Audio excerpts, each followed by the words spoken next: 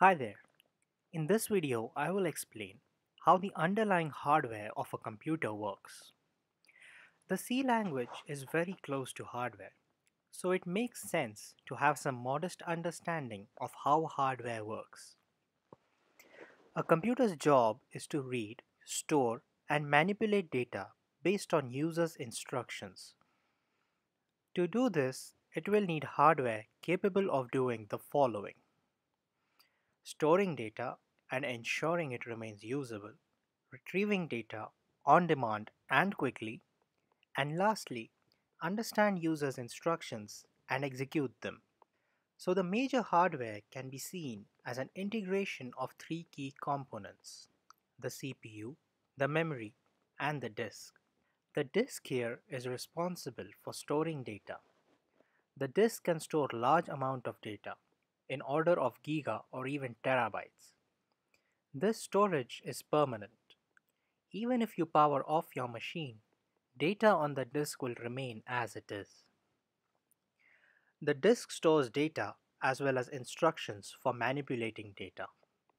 The Central Processing Unit or CPU or just processor is an electronic circuit that can fetch data and execute instructions to work on the data. These instructions that I'm talking about are basic arithmetic and logical instructions. Combinations of these instructions give rise to more complex operations. In addition to that, CPU is also connected to input and output devices like the keyboard and the monitor. It does not store data like the disk does. Instead, it fetches whatever data is needed works on it, and puts it back, or sends the result to an output device. The CPU has to fetch whatever data it needs, and data is stored on the disk. But the CPU does not fetch data directly from the disk. Instead, it fetches data from another electronic circuit that sits in between disk and CPU, the RAM. RAM stands for Random Access Memory. It stores data but not in the same way as the disk does. RAM stores relatively small amounts of data, in the order of mega or gigabytes. RAM is volatile. Its contents will get erased if you power off your machine.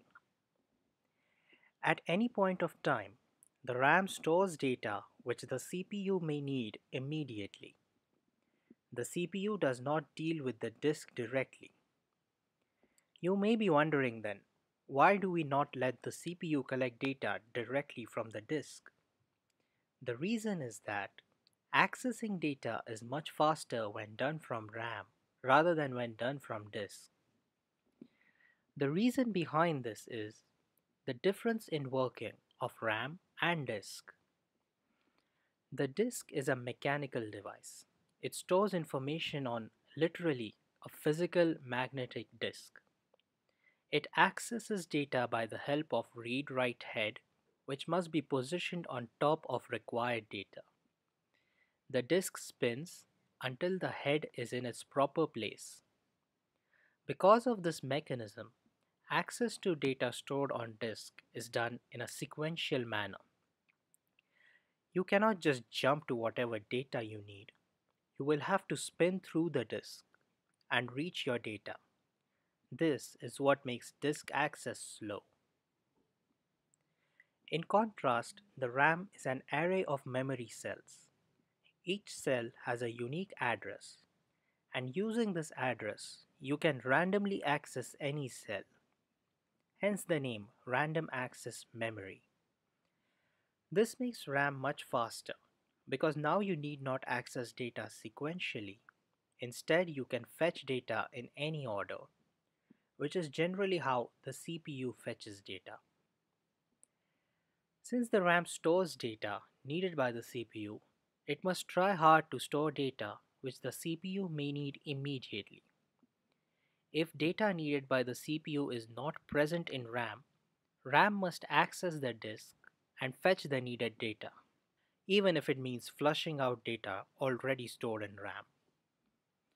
So if you're wondering RAM stores data and is fast. why do we still need the disk? Well, RAM is very expensive. You will get more storage in disk than you will get in RAM for the same price. And RAM is volatile. Its data will perish when power is turned off. So that is a very high level understanding of how computer hardware works. I will talk more about hardware in my upcoming videos as required, but for now this will suffice. So thanks for watching and I will see you in my next video.